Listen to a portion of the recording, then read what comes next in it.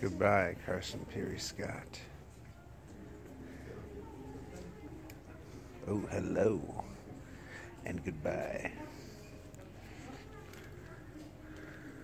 I remember this used to be the fancy store, and my grandma would come here and she loved this place.